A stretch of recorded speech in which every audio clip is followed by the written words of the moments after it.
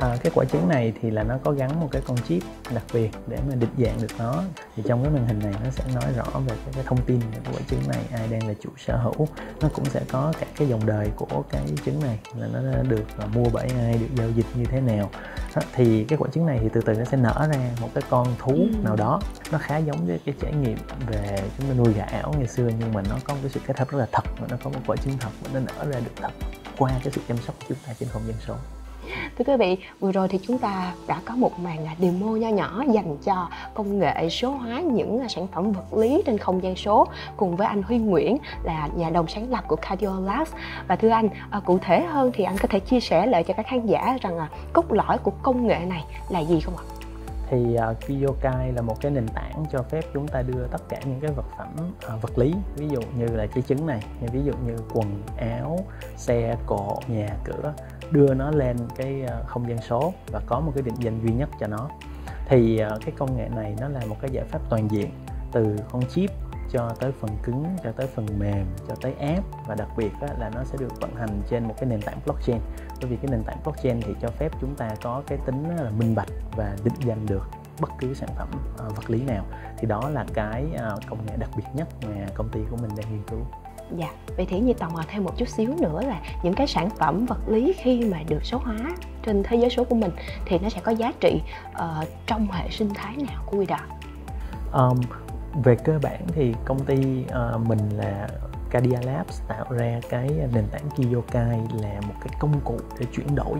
ờ, cho mọi người và tin tin tưởng được. Có nghĩa là mỗi cái vật phẩm thật nó sẽ có một cái định dạng số và mình uh, sẽ giúp mọi người gọi là kiểm tra và xác nhận được cái định danh số đó. Thì uh, tất cả những cái doanh nghiệp uh, ở Việt Nam ví dụ như ở Việt Nam mà tạo ra sản xuất thì những cái doanh nghiệp về sản xuất ví dụ như là thậm chí là từ nông nghiệp cho tới may mặc cho tới uh, thời trang cho tới là trang sức đều có thể sử dụng cái công nghệ này để bán được cái gia tăng cái giá trị hàng hóa của họ và bán được nó ra nước ngoài. Trên thế giới cũng không có quá nhiều đơn vị đã có đâu. Nên những cái công nghệ này thì Huy khá tự tin là chúng ta đang đi khá ngang hàng và thậm chí là cạnh tranh song phẳng với họ. Tuy vậy thì à, về cái hành lang pháp lý để mà bảo vệ cho những cái công nghệ này á, thì ở Việt Nam vẫn là còn chưa có rất là rõ ràng. Nhưng mà với cái việc là cái răng ranh này nó sẽ từ từ nó thu hẹp lại thì chúng ta cần những cái quyền bảo vệ cho tài sản số của người sử dụng đúng không? À, tài sản số ngày xưa người ta chỉ hay nghĩ tới tiền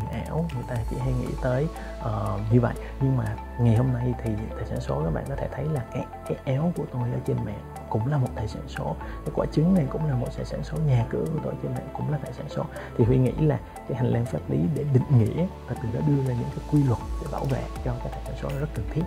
Rồi tiếp theo nữa là về các vấn đề về uh, quyền riêng tư.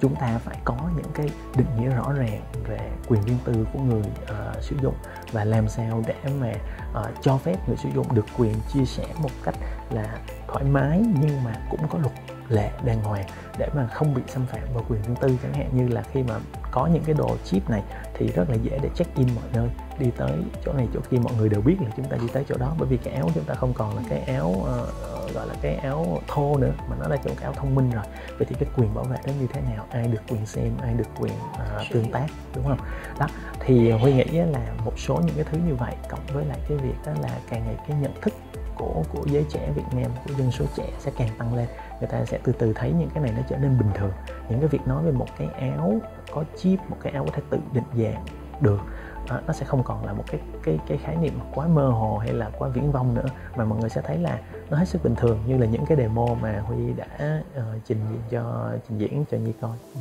Dạ vâng có thể thấy là bây giờ ở cái gần như là thế giới số của mình đang không có giới hạn đúng không anh? Vậy thì anh có thể chia sẻ một xíu của mình về đánh giá cũng như là dự đoán của anh về tương lai của công nghệ KOK à, thì cái niềm tin của của công ty mình á, là cái thế giới thật và cái thế giới ảo á, nó sẽ ngày càng thu hẹp lại. Cái làn răng đó nó sẽ ngày càng á, là mờ dần đúng không? À, hiện giờ thì Việt Nam đang ở giữa cái cái cái công cuộc gọi là chuyển đổi số tức nghĩa là chúng ta tìm cách đưa những cái những cái tài liệu những cái gì đó vật lý đi lên trên không gian số. Và cùng lúc đó thì trên không gian số đang có rất nhiều thứ như game như video như phim ảnh mà chúng ta chưa có đưa được nó về ngược lại với lại thế giới thật. Thì cái thế giới mà mà công ty của mình và Kiyokai tin tưởng sẽ là một thế giới mà ở đó mỗi một cái thế giới thật bất cứ cái điều gì trong cái thế giới thật nó sẽ được thể hiện và kết nối trực tiếp với một cái điều đó trong thế giới ảo. Thì uh, mình nghĩ là nó sẽ bao gồm nhiều yếu tố. Ví dụ như nó sẽ bao gồm chính bản thân mình làm sao để chúng ta định danh được chính chúng ta ở trên thế giới số làm sao cho được tất cả tài sản, vật liệu chúng ta sở hữu đi lên trên thế giới số. Làm sao chúng ta đưa được nhà, cửa, địa danh lên thế giới số? Và làm sao để chúng ta đưa được những cái chỉ số hoạt động? Như như cái việc chúng ta chạy, chúng ta bơi, chúng ta làm việc này, việc kia, nó được thể hiện một cách toàn diện thì đó là cái niềm tin của của của công ty là là cái thế giới nó sẽ tiến về cái cái bước đó. Như vậy thì rất cần những công cụ và những cái nền tảng để giúp đạt được cái cái việc chuyển đổi số toàn diện đó thì Kiyokai ra đời chính là để tạo nên cái cầu nối cho hai cái thế giới thật và ảo Dạ vâng, cảm ơn anh Huy rất là nhiều về uh, những cái chia sẻ ngày hôm nay và ý như tin chắc rằng là các quý vị khán giả cũng đã uh, cũng đã hiểu hơn về cái chủ đề này và cũng sẽ là một cái gợi ý khá là thú vị để dành cho các quý vị khán giả mong muốn trải nghiệm công nghệ cũng như là trải nghiệm có một cái trải nghiệm cá nhân hóa hơn với những cái sản phẩm của mình. Cảm ơn dạ. nhiều rất là nhiều. Dạ.